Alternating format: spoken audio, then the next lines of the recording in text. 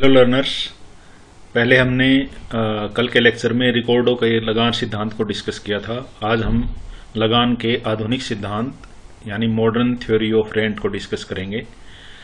Modern theory of rent के आ, अनुसार जो मॉडर्न इकोनॉमिस्ट हैं उनके अनुसार जो रेंट की परिभाषा है वो हमने पहले ही डिस्कस की थी पिछले लेक्चर में आ, कि उनके अनुसार रेंट क्या है। मैं एक बार फिर से रिवाइज कर देता हूँ। कि जो मॉडर्न थ्योरी ऑफ़ रेंट है, लगान का जो आधुनिक सिद्धांत है, उसकी व्याख्या सबसे पहले प्रोफेसर जे एस मील ने की थी। ये जो सिद्धांत है, ये रिकॉर्डो का लगान सिद्धांत जो हमने पहले डिस्कस किया था, उसका एक विस्तृत और सुधरा हुआ रूप है। Professor Marshall John Robinson Pareto और जेवेंस आदि अर्थशास्त्रियों ने इस सिद्धांत का आगे विकास किया।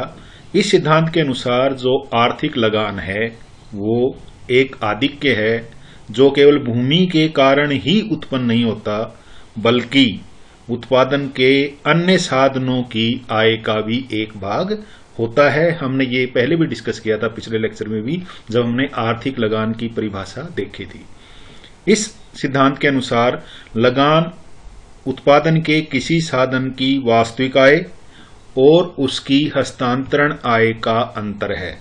लगान किसी साधन की वास्तविक आय प्रेजेंट अर्निंग क्या है उसकी, और ट्रांसफ़र अर्निंग क्या है, उन दोनों का डिफरेंस है। ये साधन कोई भी हो सकता है, ये केवल भूमि होनी ज़रूरी नहीं है। आधुनिक सिद्धांत के अनुसार ये हर उस साधन को मिलेगा जिसकी प्रेजेंट अर्निंग जो वर्तमान आय है और जो ट्रांसफ़र अर्निंग जो उसकी दूसरे सर्वश्रेष्ठ विकल्प से आय है, दोनों के अंतर के रूप में जो उसे प्राप्त होगा, उसको हम लगान कहेंगे। हस्तांतरण आय मैंने पहले परिभाषित की थी, वो वह मूल्य है, हस्तांतरण आय, जो किसी उत्पादन के साधन की एक इकाई को किसी उद्योग में बनाए रखने के लिए आवश्यक है। अर्थात, हस्तांतरण आय, जो ट्रांसफ़र इनकम है, वह वह मिनिमम इनकम है, वह न्यूनतम आय है। जो उत्पादन के किसी साधन को अब से ही मिलनी चाहिए, ताकि साधन किसी दूसरे काम में प्रयोग ना हो। इस डेफिनेशन को ध्यान से रखना ट्रांसफ़र अर्निंग की जो हम डेफिनेशन डिस्कस कर रहे हैं यहाँ पे, हस्तांतरण आय क्या है? हस्तांतरण आय वह न्यूनतम आय है जो किसी साधन को उस काम पे लगाने के लिए कम से कम उसकी आवश्यकता है, उसको हम ट्रांसफ़र अर्निंग कहते हैं। और आधुनिक अर्थशास्त्रियों के अनुसार रेंट क्या है? रेंट प्रेजेंट अर्निंग और ट्रांसफ़र अर्निंग का डिफरेंस है। जैसा कि हमने यहाँ देखा कि rent is equal to present earning minus transfer earning transfer earning जो आपकी हस्तांतरण आय है, उसको कई बार हम अवसर लागत भी कहते हैं। अवसर लागत हमने पहले डिस्कस की थी कि किसी दूसरे सर्वश्रेष्ठ विकल्प से या किसी एक काम को करता है बंदा तो उसकी जो दूसरा अवसर है, उसको छोड़ता है। तो उसकी जो लागत है, वो आपकी, या उससे जो आय है, वो आपकी ट्रांसफ़र अर्निंग है। आई होप कल हमने 10 और 8000 वाले एग्ज़ाम्पल से भी इसको देखा था। मेरे हिसाब से ये चीज़ें क्लियर होंगी आपको। हम आगे चल सकते हैं। जो मॉडर्न थ्योरी ऑफ़ रेंट है उसके अनुसार रेंट जो है एक प्रकार का सरप्लस है। और वो सरप्लस कब राइज होता है? जब किसी साधन की पूर्ति, पूर्णतया लोचदार से कम होती है। ध्यान दीजिएगा। मॉडर्न थ्योरी के अनुसार रेंट एक प्रकार का सरप्लस है। वो इसलिए उत्पन्न होता है, वो सरप्लस इसलिए पैदा होता है क्योंकि उस साधन की सप्लाई, यहाँ पे मैंने लैंड डिस्कस किया है, लेकिन किसी भी साधन के लिए अप्लीकेबल हो सकता है। सप्लाई ऑफ़ फैक्टर्स भी कर सकते हो। किसी भी साधन की जो सप्लाई है, वो अगर पूर्णतया लोचदार नहीं है, यानी वो या तो पूर्णतया बेलोजदार है, या बेलोजदार है, या लोजदार है, लेकिन अगर पूर्णतया लोचदार से अगर कम है किसी साधन की लोच, पूर्ति की लोच तो उस साधन को रेंट मिलेगा, वो लैंड भी हो सकती है। वो कैपिटल भी हो सकती है और वो एंटरप्रेनर भी हो सकता है। कई बार रेंट में प्रॉफिट का भी एक पार्ट होता है। तो इलास्टिसिटी ऑफ़ सप्लाई की जो पॉसिबल तीन पॉसिबिलिटीज हो सकती हैं। या तो सप्लाई जो है वो परफेक्टली इलास्टिक होगी, या परफेक्टली इन इलास्टिक होगी, या परफेक्टली इलास्टिक होगी। अगर आपको ध्यान हो तो हमने इनके ग्राफ डिस्कस किए थे पहले। टोटल इन इलास्टिक सप्लाई इस तरीके की होती है। कैसी है टोटल इन इलास्टिक सप्लाई यानी प्राइस कुछ भी हो, साधन को कितना भी प्राइस मिले, उसकी पूर्ति नहीं बढ़ सकती, हर अवस्था में इतनी फिक्स रहेगी। यानी जो सप्लाई कर्व है, वो एक सीधी लाइन जैसे हमने देखा, जो वाई एक्सिस के पैरेलल है, इसका अर्थ ये हुआ कि साधन की कीमत कम हो या ज़्यादा हो, उस साधन की पूर्ति जो है उतनी ही होगी, उसमें कोई चेंज नहीं होगा। तो ये है हमारी पूर्णतया बेलोसदार पूर्ति। इस पे रेंट मिलेगा। मैंने बताया था ना इलास्टिक के अलावा परफेक्टली इलास्टिक के अलावा जो भी होगा, उस पे रेंट इस पे रेंट राइज होगा। कितना राइज होगा वो हम आगे डिस्कस करेंगे। दूसरा है आपका परफेक्टली इलास्टिक सप्लाई हमने, इसका ग्राफ हमें ध्यान है परफेक्टली इलास्टिक सप्लाई इस तरीके की होती है। प्राइस कुछ भी हो, उसकी प्राइस जो एक बार फिक्स हो गया, उस प्राइस पे उस साधन की कितनी भी मात्रा खरीदी जा सकती हैं जितनी हर मात्रा को समान मात, अवसर समान मात्रा में प्राइस मिलेगा उसका प्राइस चेंज नहीं होगा। अब इन दोनों के अलावा तीसरी जो है लेस देन परफेक्टली इलास्टिक होगी परफेक्टली इलास्टिक से कम होगी। कम होगी तो इस तरीके का ग्राफ आएगा जो नॉर्मली सप्लाई कर्व में हम देखते हैं। चलिए अब आगे हम डिस्कस करते हैं। पहले जब सप्लाई परफेक्टली इन इलास्टिक को अब ध्यान से देखिए, यहाँ हमने साधन की मात्रा ली है। मैंने यहाँ भूमि से दिखाया है तो हमने हेक्टेयर ऑफ़ लैंड ले ली और ये उस साधन की प्राइस यहाँ पे लैंड लिया है तो ये लगान हो जाएगा। यहाँ पे अगर हम कैपिटल लेते तो ये आपका दूसरा उस कैपिटल को मिलने वाला हो जाता। तो इसका मतलब ये हुआ कि अगर सप्लाई क्या है यहाँ पे सप्लाई आप देख सकते हो परफेक्टली इन इलास्टिक है। और मैंने थोड़ी देर पहले डिस्कस किया था परफेक्टली इन इलास्टिक पे रेंट मिलेगा। सिर्फ़ परफेक्टली इलास्टिक को छोड़ के सभी पे रेंट राइज होगा हर साधन के लिए। तो यहाँ पे हमने ये सप्लाई है, ये हमारी डिमांड है। अब प्राइस कहाँ फिक्स होगा? जहाँ डिमांड और सप्लाई एक दूसरे पे काटेंगे। यहाँ डिमांड और सप्लाई काटी, जिससे तो हमारी प्रजेंट अर्निंग देखो ध्यान रखना, हमने पहले कहा था रेंट किसके बराबर होगा? Present earning minus transfer earning तो इस ग्राफ से हम जानने की कोशिश करते हैं, हमारी प्रजेंट अर्निंग कितनी है। इतनी सप्लाई है, ये प्राइस है। तो अर्निंग कैसे होगी? इतना सामान इतना उस साधन की मात्रा बिकी और इतने उसकी रेट था तो दोनों का मल्टीप्लाई यानी पूरे का पूरा प्रोडक्शन जितना हुआ, वो सारे का सारा रेंट होगा। क्यों होगा? क्योंकि यहाँ पे ट्रांसफ़र अर्निंग ज़ीरो है। किसी साधन की जो ट्रांसफ़र अर्निंग है, जो हमने बात की थी ट्रांसफ़र अर्निंग क्या थी? दूसरे सर्वश्रेष्ठ विकल्प से जो प्राप्त होता है, उसको हम ट्रांसफ़र अर्निंग कहते हैं। तो यहाँ पे ट्रांसफ़र अर्निंग जो है, वो हमारी क्या होगी? शून्य होगी। अगर ट्रांसफ़र अर्निंग शून्य है, और इतनी हमारी वास्तविक आय है क्यू एस ई आर हमारी क्या है? वास्तविक आय है। और ट्रांसफ़र अर्निंग क्या है? ज़ीरो तो दोनों का डिफरेंस निकालोगे तो कितना हो जाएगा? इतना ही हो जाएगा ना? ज़ीरो घटाओगे तो इसका मतलब जितना भी उसने उत्पादन हुआ, वो सारे का सारा रेंट होगा। कब होगा? जब सप्लाई परफेक्टली इन इलास्टिक होगी।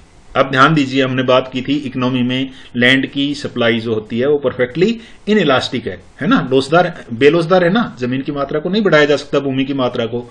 इसका अर्थ यह हुआ कि जो भूमि है, उसका जितना भी प्रोड्यूस होगा, वो सारे का सारा लगान हो जाएगा। अब अगर किसी कारण से डिमांड बढ़ जाती है डिमांड बढ़ने से क्या होगा? डी डी डैश हमारी डिमांड थी। अगर ये डी ज़ीरो डी ज़ीरो हो जाती है तो क्या होगा? नया प्राइस किस पे फिक्स हो जाएगा? एफपी पे फिक्स हो जाएगा। तो पहले इतना रेंट मिलता था। ओ आर ई एस के बराबर। अब कितना मिलेगा? ओ पी एफ़ एस के बराबर मिलेगा। अगर पर, आ, ये हमने डिस्कस किया था जब डिमांड जो साधन की सप्लाई है अगर वो पूर्णतया बेलोसदार है तो अगर साधन की पूर्ति पूर्णतया लोसदार है तब क्या होगा? ये पूर्णतया लोसदार है। हमने अभी ग्राफ देखा था थोड़ी देर पहले ये हमारी पूर्णतया जो लोसदार है या परफेक्टली इलास्टिक सप्लाई है। अगर सप्लाई परफेक्टली इलास्टिक है तो इसका मतलब क्या हुआ? इसका मतलब ये हुआ कि डिमांड से, के इंटरसेक्शन से हमें पता लग गया। ये हमारी मात्रा है, ये हमारी प्राइस है। अब ध्यान दीजिए यहाँ पे।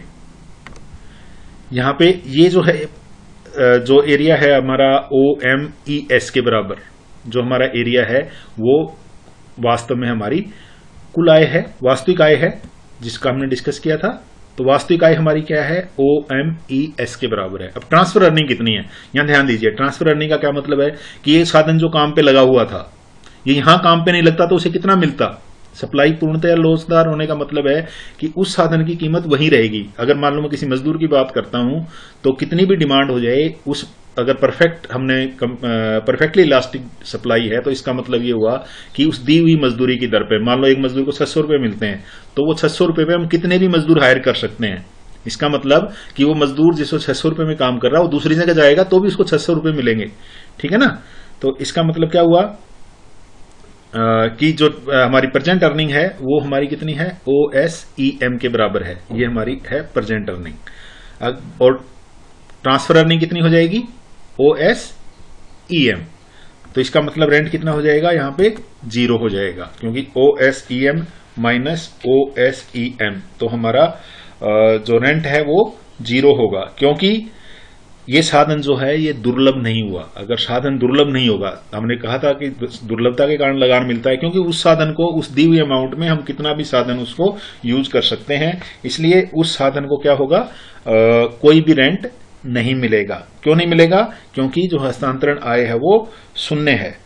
ठीक है? अब मान लीजिए जो हमारा मांग कर्व है वो बढ़ जाता है डी वन हो जाता है तो वो पूर्ति वक्र को किसी दूसरे बिंदु पर काटेगा। एफ़ बिंदु पर काटा। एफ़ बिंदु पे काटने से क्या हुआ? अभी कहाँ पे आ गया हमारा संतुलन? एफ़ बिंदु पे आ गया। ओ एन मात्रा ओ एस के बराबर। अगर प्रेजेंट अर्निंग कहाँ से कहाँ हो जाएँगी? ओ एस ई एम थी पहले। अब प्रेजेंट अर्निंग हो जाएँगी ओ एस एफ़ एन के बराबर। तो ट्रांसफ़र अर्निंग भी जो हमारी इंक्रीज हो गई हो जाएँगी ओ एस एफ़ एन के बराबर। तो इसका मतलब ये हुआ आ, कि हमें यहाँ पर मांग बढ़ने के कारण भी कोई रेंट नहीं मिलेगा तो यहाँ रेंट ज़ीरो होगा। अब दो चीज़ें हमने डिस्कस की। अगर परफेक्टली इलास्टिक डिमांड है सप्लाई है फैक्टर की तो उस कंडीशन में रेंट जो है वो ज़ीरो होगा, क्योंकि उसकी स्क्रेसिटी या स्पेसिफिसिटी नहीं होगी। ठीक है? किसी एक काम के लिए यूज़ नहीं होता। दूसरा जो हमारा है, अगर परफेक्टली इलास्टिक थी तो पूरे का पूरा रेंट था। अब आते हैं हम बीच में। अगर सप्लाई ऑफ़ फैक्टर अगर इलास्टिक है। इलास्टिक का मतलब क्या हुआ है? ऐसा जो हमने ग्राफ अभी डिस्कस किया था कि इस तरीके का ग्राफ अगर होगा सप्लाई का तो ये सप्लाई का ग्राफ है हमारा एस ग्राफ है। तो ये क्या है? ये इलास्टिक है। ना तो ये परफेक्टली इन इलास्टिक है और ना ही ये परफेक्टली इलास्टिक है। इसको हम इलास्टिक बोलते हैं। ठीक है? लेस देन परफेक्टली इलास्टिक तो उन सारों को हम इलास्टिक बोलेंगे। तो यहाँ पे क्या है? आ, अगर मैं कोई ए पॉइंट लेता हूँ इस ग्राफ पे ठीक है, ये ए पॉइंट मैंने लिया। अब इस ए पॉइंट पे मिनिमम देखो ध्यान रखना, हमने कहा था कि कम से कम वहाँ पे रखने के लिए, साधन को किसी काम पे लगाए रखने के लिए जो मिनिमम प्राइस है तो मिनिमम प्राइस कितना होना चाहिए? इतना होना चाहिए, इसके बराबर ए क्यू के बराबर होना चाहिए। इससे कम ये काम नहीं करेगा, क्योंकि सप्लाई करो है सप्लाई करो से अगर कम मिलेगा तो वो काम नहीं, काम पे नहीं जाएगा। इसका मतलब ये हुआ कि जो ओ ए स्थिति में जो मजदूर है, उसे न्यूनतम ए क्यू प्राइस मिलना चाहिए था। ठीक है? यहाँ तक सही है? ए क्यू मिलना चाहिए था, लेकिन वास्तव में मिलता कितना है उसे? कितना मिल रहा है? ए एच के बराबर मिल रहा है। ये है ना प्राइस है ना ये? डिमांड और सप्लाई जहाँ काटी, ये देखो, ध्यान से देखो। रेंट को भूल के थोड़ी देर स्टैंडर्ड्स पे आओ। डिमांड सप्लाई जहाँ पे इंट्रैक्शन किया एम बिंदु पे, इस इंट्रैक्शन पे ये लगान हो गया आपका ओ मान लो ये हमारा पी बिंदु है तो ओ पी के बराबर हमारा प्राइस हो जाएगा। तो इस प्राइस पे काम करने, उसको इतना कम से कम प्राइस चाहिए था। और उसे मिलेगा कितना? इतना। इसका मतलब यहाँ पे उसकी ट्रांसफ़र अर्निंग कितनी है? क्यू ए और एक्चुअल अर्निंग कितनी है? ए एच तो ये डिफरेंस क्या हो जाएगा? ये वाला डिफरेंस उसका रेंट हो जाएगा। क्यों हो जाएगा रेंट क्योंकि उसको मिनिमम इतना प्राइस चाहिए था काम करने के लिए। और लेकिन मिल कितना रहा है उसको? इतना। तो इसका मतलब ये जो अमाउंट बच गई, ये उसका रेंट है। क्योंकि काम पे लगाए रखने के लिए तो इतना देना बहुत सफिशियंट था। लेकिन क्योंकि हम उससे ज़्यादा दे रहे हैं, इसलिए ये रेंट हो जाएगा। इसी तरीके से अगर बी कोई बिंदु लेता हूँ तो इतने पे काम करने के लिए रेडी है। Minimum support minimum supply price ये है। या हस्तांतरण आय उसकी ये वाली है, लेकिन वास्तविक आय आई, बी आई के बराबर है। इसका मतलब उसे आई, आर के बराबर लगान मिलेगा। ऐसे ही हम बहुत सारे बिंदु अज्यूम कर सकते हैं कंटिन्यूस बिंदु अज्यूम कर सकते हैं। तो उस कंडीशन में क्या होगा? ये जो कुल एरिया है, ये लगान के बराबर होगा। कौन सा कुल एरिया एस पी और एम जो एरिया है ट्राइंगल का जो एरिया है, वो हमारा कुल लगान होगा। कब? जब सप्लाई ऑफ़ फैक्टर इलास्टिक होगी। ठीक है? अब हमने तीन कंडीशन में डिस्कस की मॉडर्न थ्योरी के अनुसार। हर फैक्टर ऑफ़ प्रोडक्शन को मिलेगा। ये आपका कैपिटल भी हो सकता था। यहाँ पे हमने उसमें पहले एग्ज़ाम्पल में हमने क्या लिया था? लैंड ली थी। कैपिटल भी हो सकता है। तो कैपिटल का को क्या मिलेगा? रेंट मिलेगा। तो रेंट में भी एक हिस्सा सॉरी इंटरेस्ट मिलेगा। तो इंटरेस्ट में भी एक हिस्सा रेंट का होगा या रेंट में एक हिस्सा इंटरेस्ट का होगा। आप किसी तरीके से इसको समझ सकते हैं। तो इसका अर्थ क्या हुआ कि जब फैक्टर की सप्लाई इलास्टिक होगी तो उसे किस एर, इस एरिया के बराबर जो है वो रेंट प्राप्त होगा। तो ये है मॉडर्न थ्योरी ऑफ़ रेंट जिसके द्वारा हमने आ, रेंट कब मिलेगा किसी साधन को और किस तरीके से रेंट मिलेगा कितना रेंट मिलेगा वो हमने डिस्कस किया कि उसको रेंट कितना अराइज होगा। अब अगर हम देखें कि ये जो मॉडर्न थ्योरी है इसके कौन कौन सी विशेषताएँ हैं मॉडर्न थ्योरी की विशेषताएँ क्या हैं? तो पहला तो हमने ये कहा कि रेंट जो है, वो सभी फैक्टर ऑफ़ प्रोडक्शन को मिलेगा। उत्पादन के सभी साधन को मिलेगा। ठीक है? भूमि की जो है, क्योंकि जो लैंड की जो सप्लाई है, वो परफेक्टली इन इलास्टिक है तो उसको पूरे का पूरा जितना भी प्रोड्यूस होगा, सारे को एक मॉडर्न थ्योरी उसको सारे को रेंट मानेगी। ध्यान रखना। मॉडर्न थ्योरी के हिसाब से सारे का सारा रेंट है। रिकॉर्डो ने उसकी दूसरी बात कही और जो एक्चुअल जो ग्रेड ऑफ़ लैंड की जो प्रोड्यूस है उस दोनों का क्या मिलेगा हमें? परफेक्टली इन इलास्टिक होने के कारण हमें जो मिलेगा वो परफेक्टली uh, पूरे का पूरा रेंट होगा। दूसरे जो फैक्टर हैं उनकी इनकम का कुछ हिस्सा रेंट होगा। अब कितना रेंट होगा? वो डिपेंड करता है एक्चुअल अर्निंग और ट्रांसफ़र अर्निंग का डिफरेंस कितना है। और एक्चुअल अर्निंग और ट्रांसफ़र अर्निंग का डिफरेंस कितना होगा? ये डिपेंड करेगा उसकी इलास्टिक कितनी है। ठीक है? तो दो कंडीशन में रेंट राइज होगा, या तो परफेक्टली इन इलास्टिक हो या लेस इलास्टिक हो। अगर परफेक्टली इलास्टिक है तो रेंट नहीं मिलेगा। यहाँ नो रेंट कौन सी कंडीशन पे है? जब उसकी सप्लाई परफेक्टली इलास्टिक है। ठीक है? तब उसे कोई रेंट नहीं मिलेगा। क्यों नहीं मिलेगा? क्योंकि इसकी ट्रांसफ़र अर्निंग और एक्चुअल अर्निंग एक दूसरे के बराबर होती है। अब हमने पहले बात की थी कि रिकॉर्डो का जो लगान सिद्धांत है, शुरू में जब मैं डिस्कस कर रहा था तो मैंने बताया था, ये जो रिकॉर्डो का सॉरी जो मॉडर्न थ्योरी है रेंट की, आधुनिक सिद्धांत है, वो रिकार्डोनियन थ्योरी का विस्तार है और सुधार है। ये विस्तार क्यों है? विस्तार इसलिए है कि रिकॉर्डो ने माना था कि जो भूमि पर उत्पन्न होता है, उसका एक हिस्सा जो भूमि का स्वामी है, उसको उसकी ओरिजिनल और इनडिस्ट्रक्टिबल पावर्स के लिए कुछ मिलता है। ओरिजिनल एंड इनडिस्ट्रक्टिबल पावर्स के बदले में कुछ मिलता है। किसको? भूमि के स्वामी को। तो उसने क्या कारिकोडो ने कहा कि भूमि को मिलेगा और भूमि के स्वामी को मिलेगा, इसलिए केवल लैंड पे राइज होगा रेंट अब इसका विस्तार क्यों है? कि जो आधुनिक सिद्धांत है, उसने लैंड से ले जाके इसको ये कह दिया, वो लेबर पे भी मिलेगा कैपिटल पे भी मिलेगा इंटरप्रेनर पे भी मिलेगा, क्योंकि उसकी सप्लाई जो है, वो परफेक्ट इलास्टिक नहीं होके, या तो इन इलास्टिक है, या लेस देन इलास्टिक है. ठीक है? स्पेसिफिक स्पेसिफिक होने के कारण उसको रेंट मिलेगा. तो ये विस्तार हो गया. जो रिकॉर्डो का सिद्धांत था, वो केवल लैंड पे लागू था, जबकि आधुनिक सिद्धांत लैंड के साथ साथ उत्पादन के दूसरे साधनों में भी लागू होता है। इसका अर्थ ये हुआ कि जो आधुनिक सिद्धांत है, वो रिकॉर्डो के सिद्धांत का विस्तार है। इसके साथ साथ रिकॉर्डो का सिद्धांत है, वो उसको आधुनिक सिद्धांत जो है, वो उसमें चेंज भी करता है, उसमें सुधार भी करता है। पहला क्या है कि रेंट को किस तरीके से नापा जाएगा? रेंट को, जो अनुमान लगाते हैं हम रेंट का, वो किस तरीके से लगाते हैं, ये दोनों कंसेप्ट में अलग अलग होगा। रिकॉर्डो के लगान सिद्धांत के अनुसार, लगान का अनुमान सीमांत भूमि की उपज और पूर्व सीमांत भूमि की उपज के अंतर के रूप में निकाला जाता है। ध्यान दीजिए, पिछले लेक्चर में जो हमने डिस्कस किया था ए ग्रेड की भूमि के ऊपर 60 क्विंटल पर एकड़ डी ग्रेड भूमि। डी ग्रेड भूमि पे कितना था? ट्वेंटी तो लगान कितना हुआ था? फोर्टी, यानी रिकॉर्डो के अनुसार जो लगान है, वो सीमांत भूमि की उपज, जो 20 थी, कल के एग्ज़ाम्पल में हमने जो लिया, और उससे पहले की जो भूमि है, मान लो ए ग्रेड की है तो उस पर जो अंतर है, उसके रूप में मिलेगा। तो रिकॉर्डो का विचार था कि सीमांत भूमि एग्जिस्ट करती है जिसपे कोई लगान नहीं होता। लेकिन वास्तव में ऐसी कोई भूमि नहीं है, जिस पर लगान नहीं मिलता। इसलिए रिकॉर्डो के लगान सिद्धांत के अनुसार लगान का अनुमान लगाना संभव नहीं है।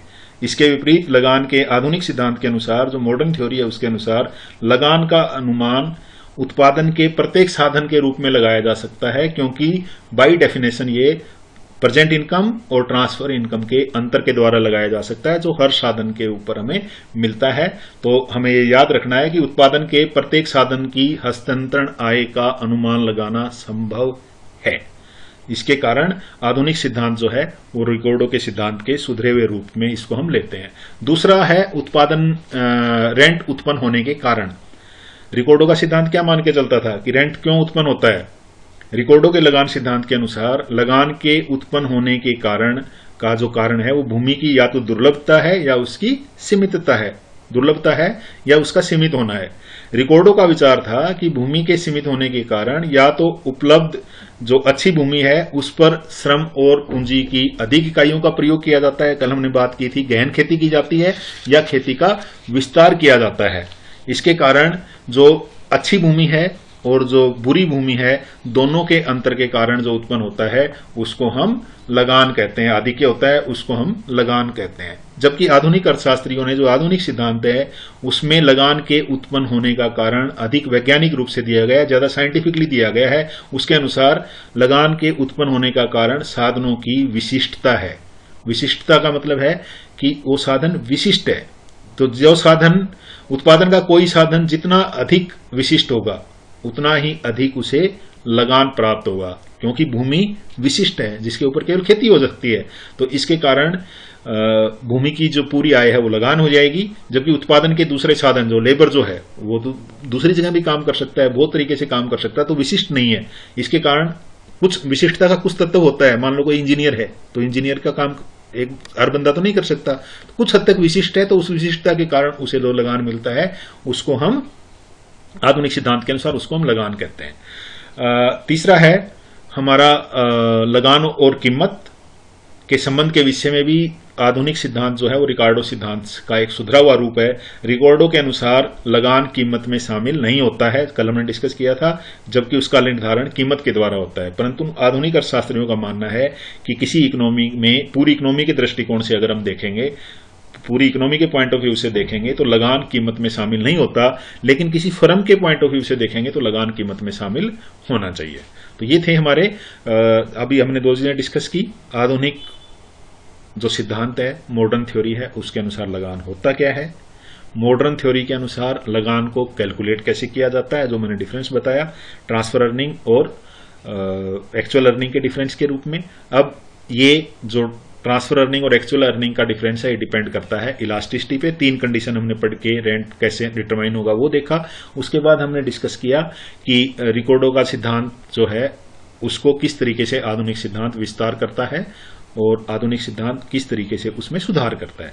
अब हम दोनों में डिफरेंस देखेंगे कि रिकॉर्डो का सिद्धांत और आधुनिक सिद्धांत में क्या अंतर है। रिकॉर्डो के अनुसार लगान केवल भूमि पे मिलता है, जबकि आधुनिक अर्थशास्त्रियों के अनुसार लगान हर फैक्टर ऑफ़ प्रोडक्शन को मिलता है। पहला डिफरेंस दूसरा डिफरेंस रिकॉर्डिंग थ्योरी के अनुसार रेंट जो है, वो भूमि की ओरिजिनल रेंट इनडिस्ट्रक्टिबल पावर के कारण मिलता है, जबकि मॉडर्न थ्योरी ऑफ़ रेंट के अनुसार ये डिफरेंस होता है एक्चुअल अर्निंग और ट्रांसफ़र अर्निंग का। तीसरा रिकॉर्डो के अनुसार रेंट प्राइस में शामिल नहीं होता। Rent is not price determining यानी रेंट प्राइस को डिटरमाइन नहीं करता। इट इज़ प्राइस डिटरमाइंड यानी प्राइस डिटरमाइन करता है रेंट को। लेकिन मॉडर्न थ्योरी ऐसा नहीं कहती, वो कहती है रेंट जो है, वो अगर हम पूरी इकोनॉमी के पॉइंट ऑफ़ व्यू से देखेंगे, तब तो रिकॉर्डो वाली बात सही है। Point of view of economy तो रेंट इंटर नहीं करेगा प्राइस में, लेकिन अगर हम एक फर्म के दृष्टिकोण से देखेंगे, एक प्रोड्यूसर के दृष्टिकोण से देखेंगे तो रेंट जो है वो प्राइस में शामिल होगा। थैंक यू आज हमने डिस्कस किया modern theory of rent hopefully आपके समझ में आ गया होगा। ध्यान से इसको एक दो बार सुन लीजिएगा और उसके बाद कोई डाउट होगा तो हम बाद में डिस्कस करेंगे। Thank you